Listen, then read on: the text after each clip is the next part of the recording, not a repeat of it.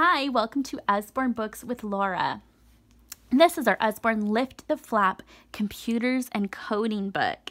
This has extra help and resources online, and it has over 100 flaps to lift. This one is so detailed. Here's the table of contents here. It goes uh, from the very beginning about what's a computer and what is coding. So as you can see that some of the flaps are itty bitty, teeny tiny, but it's a great way to get your child literally hands-on into this topic, to a topic that may actually be um, a little dense to some people, or it's a little bit dense to teach and to learn. But if you get them this book, they will just eat it right up.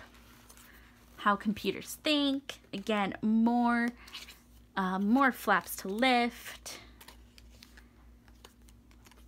they're talking about um, binary numbers,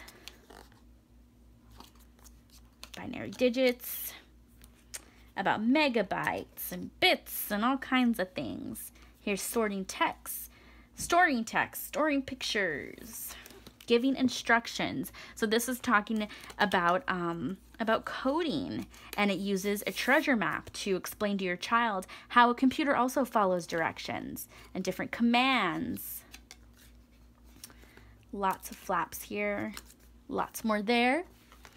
Computer language. To turn instructions into working code, you have to use a special, a special computer language. Lots of flaps here. Here's starting from scratch. The simplest way to try Scratch is on the Scratch website. And what's really cool is that we also have one whole book about coding just using this computer um, coding called Scratch